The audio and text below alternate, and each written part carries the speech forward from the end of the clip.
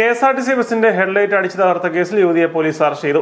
പൊൻകുന്നം ചെറുക്കടവ് പുളിക്കൽ വീട്ടിൽ സുലു ഇബ്രാഹിമിനെയാണ് Chingavanam police arrest ചെയ്തത്.